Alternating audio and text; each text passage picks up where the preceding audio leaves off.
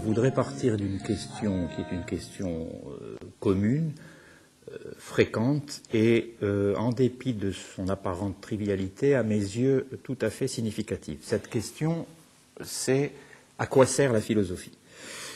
C'est une question dans laquelle nous nous trouvons toujours engagés d'avance. C'est une question, je dirais, à laquelle on ne peut pas échapper, et a fortiori lorsqu'on enseigne la philosophie.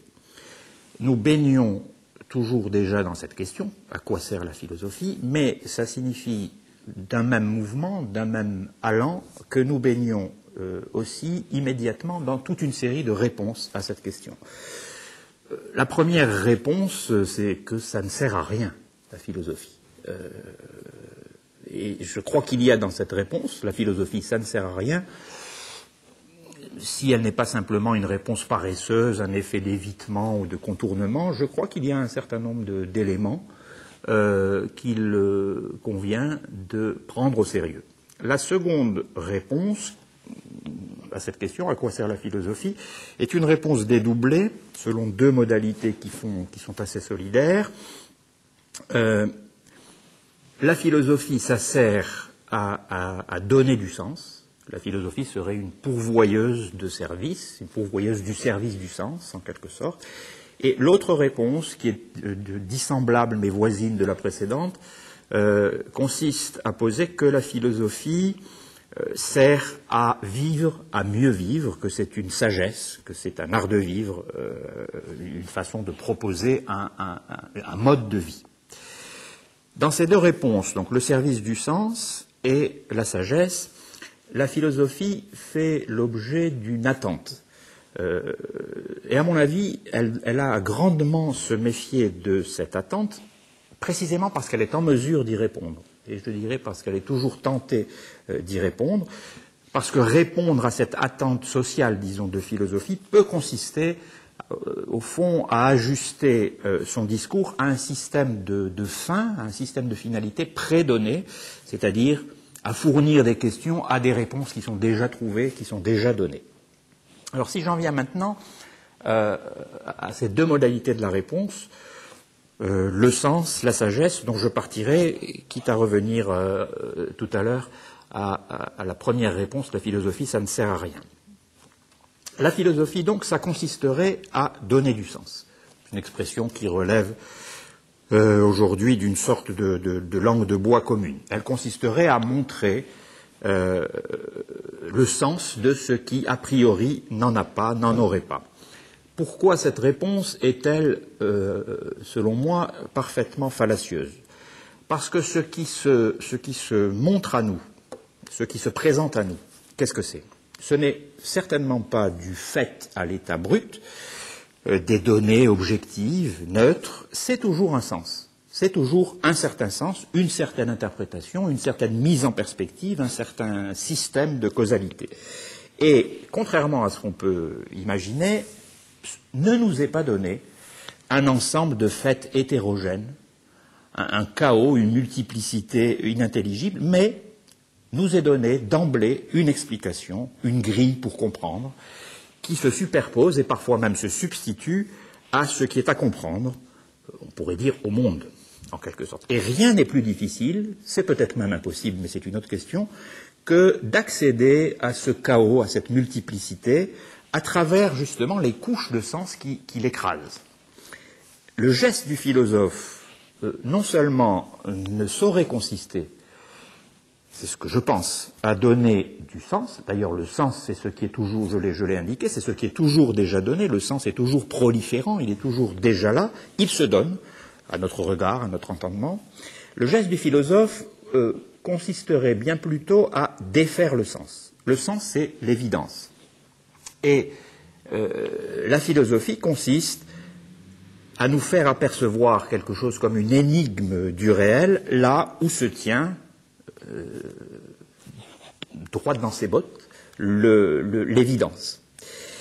Si nous nous trouvons mis devant des évidences, c'est que nous n'avons pas même commencé à philosopher.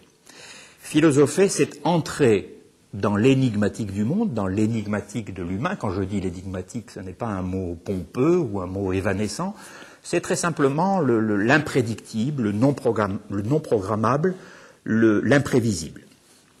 On pourrait illustrer le propos que je tiens par de très nombreux euh, exemples sortis provenant de l'histoire de la philosophie, mais je ne voudrais pas euh, trop longuement m'attarder sur ces questions. La phénoménologie husserlienne entend justement suspendre quelque chose de, l'évidence du sens commun, euh, aussi bien que de l'évidence du sens apporté par les, par les savoirs positifs aux choses, pour faire retour aux choses mêmes. Euh, disait Husserl, le, geste marxien de substitution à l'évidence la plus évidente du monde, à savoir que le salaire rémunère le travail, euh, le geste marxien consiste à substituer à cette évidence une, sorte d'incise hypothétique, avec une hypothèse avec, euh, laquelle on, peut ne pas être d'accord, à savoir que le salaire rémunère une force, l'usage d'une force, la force de travail, et ceci pour un temps déterminé. Euh, rien n'est moins évident.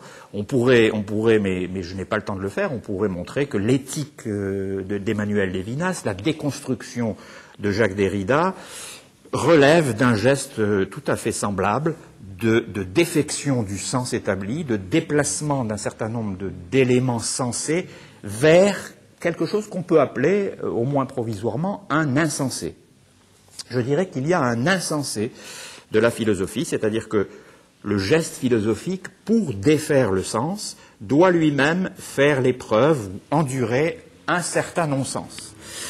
Euh, le philosophe, ce serait euh, celui qui se montrerait capable de cette, endurance, capable de résister à l'évidence du sens.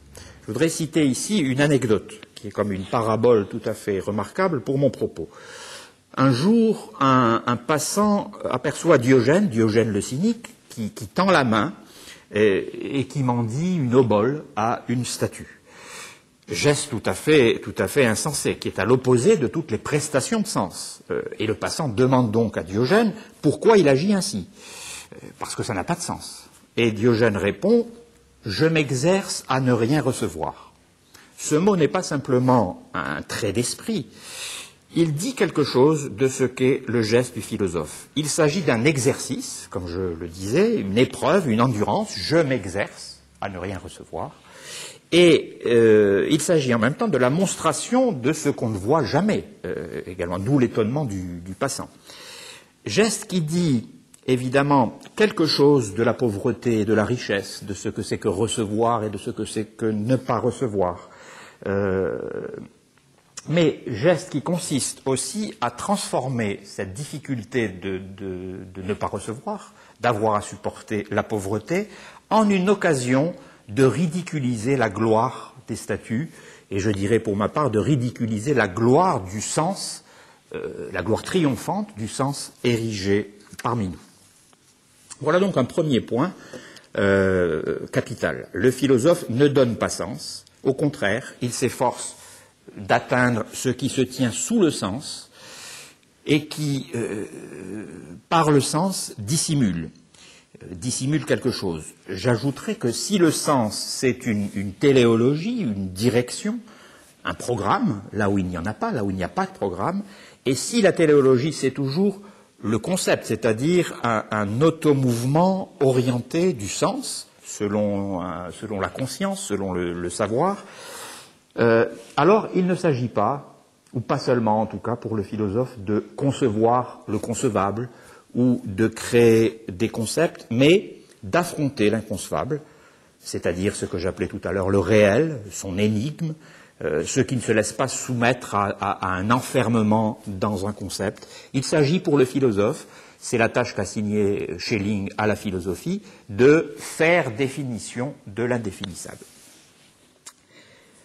si la philosophie ne sert pas à donner du sens, ce qui n'est pas, très éloigné, mais ce qui est en même temps différent de ça ne sert à rien, la philosophie.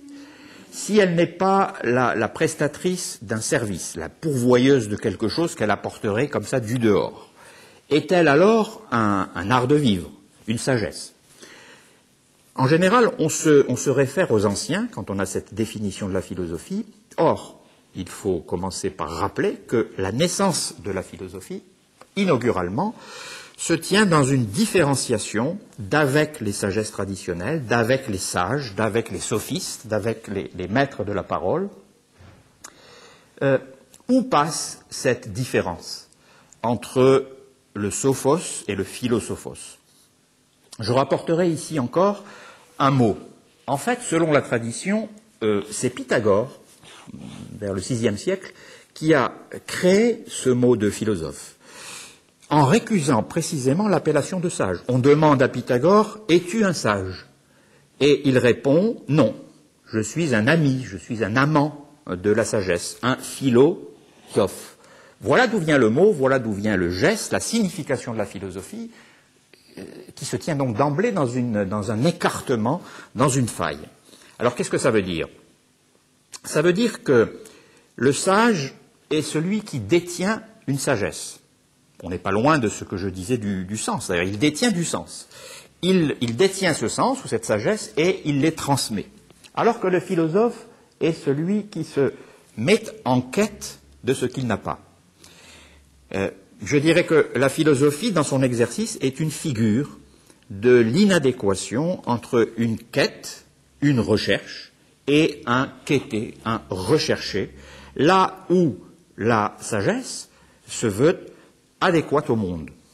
Être en quête, c'est être euh, en puissance, c'est sans doute viser une adéquation, mais en tant que nous sommes dans l'inadéquation. La philosophie, le philosophe plus exactement, serait en puissance de sens, pourrait-on dire, c'est-à-dire qu'il s'efforce constamment d'actualiser ce qu'il n'a pas. Euh, et la tentation du philosophe, euh, puisque rien ne ressemble plus à un philosophe qu'un sophiste, euh, nous le savons au moins depuis Platon, la tentation du philosophe, c'est de se faire sage, de poser au sage. Et il y a là quelque chose comme une pulsion professionnelle ou une sorte d'idiotisme de métier. Or, le philosophe n'est pas un sage. Il est celui qui rappelle et qui explicite qu'il ne détient rien, c'est-à-dire pas d'explication définitive, pas de sens tout fait euh, qu'il suffirait d'appliquer à la multiplicité aux événements, au monde, à la facticité du monde, pas de sagesse euh, dont il lui suffirait euh, d'indiquer le mode d'emploi. Et le philosophe a à faire avec ce rien.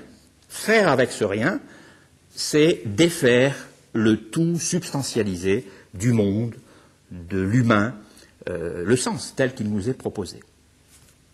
On peut peut-être être déçu par la philosophie si elle est ce que je viens d'en dire, mais remarquons d'abord que la déception peut être un bon commencement de la philosophie, au moins autant, peut-être davantage que l'étonnement, avec lequel euh, elle a sans doute aussi à voir.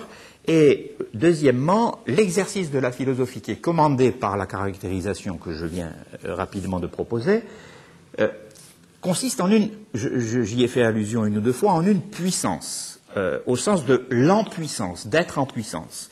La philosophie, à ce compte-là, serait l'ouverture de possibilités innombrables de questionnement du monde et de l'homme. Elle peut infiniment, la philosophie, mais elle n'actualisera jamais, et, a fortiori jamais complètement, cette puissance, ce pouvoir qui est le sien. Parce qu'il n'y a de philosophie que liée à notre condition finie, à cette situation qui fait que nous n'en aurons jamais fini. Je voudrais conclure en rappelant une nouvelle fois euh, un mot de Kierkegaard, donc d'un philosophe, euh, à propos des philosophes. Kierkegaard disait la chose suivante le philosophe est un homme qui ne pense pas ce qu'il fait et qui ne fait pas ce qu'il pense. Il y a dans ce propos de Kierkegaard, euh, c'est ce qu'il faut commencer par entendre, c'est ce que nous entendons tous, une critique acerbe la critique d'un certain renoncement, d'une certaine lâcheté philosophique. Euh, mais on ne peut pas ne pas relever en même temps que ce geste de récusation de la philosophie, puisqu'en bonne part c'est ça, est lui-même très profondément, à mes yeux, un geste philosophique. Kierkegaard pense dans cette faille qu'il relève entre faire et penser. On ne saurait remédier euh, à la philosophie, nous dit-il, que par la philosophie, c'est-à-dire qu'entre la philosophie et la philosophie, il y a à nouveau cette faille de la philosophie. Euh, il n'y a pas d'autre moyen de défaire le sens, si, telle est la tâche de la philosophie, euh, et de défaire la philosophie, pour le coup, que de philosopher, ce que de très nombreux propos d'Aristote à Pascal permettent d'illustrer euh, tout au long de l'histoire de la philosophie, comme s'il y avait dans la philosophie même quelque chose comme une anti-philosophie.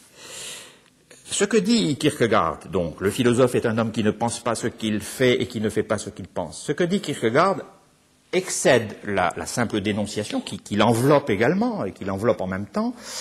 Il y aurait je pense que c'est comme ça qu'on peut aussi entendre le mot de Kierkegaard, il y aurait dans cet écart du faire et du penser, pas simplement quelque chose qui tiendrait à une idiosyncrasie propre, celle du philosophe, mais comme une condition d'existence de la philosophie, quelque chose euh, qui a euh, à voir et qui, renvoie à la finitude elle-même, pas simplement celle du philosophe, euh, bien sûr, mais celle de chacun d'entre nous, qui est de vivre dans un déchirement, dans une inadéquation, dans l'impossibilité d'un sens stable, d'un sens établi, d'un sens définitivement établi. Et à cet égard, la philosophie, dans son exercice, signifie quelque chose de ce que j'appelais tout à l'heure l'humain, disons de notre humanité. Elle peut faire sens, on peut, dire la chose de cette façon, mais au sens où ce faire sens n'est pas de l'ordre d'une adhésion organique à soi, d'une identité de soi à soi, d'une correspondance de soi et du monde. Le sens, c'est aussi cela, c'est peut-être essentiellement cela, mais au contraire, euh, d'une exhibition euh, de la vanité de toute adéquation, de toute paix avec soi-même et de toute identité satisfaite. Ah.